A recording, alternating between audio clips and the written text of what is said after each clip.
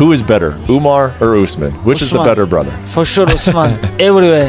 This guy number one. Really? Of course.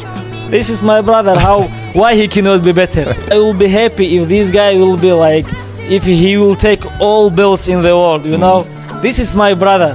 I wanna be, he will be champion, like in Universal. You understand?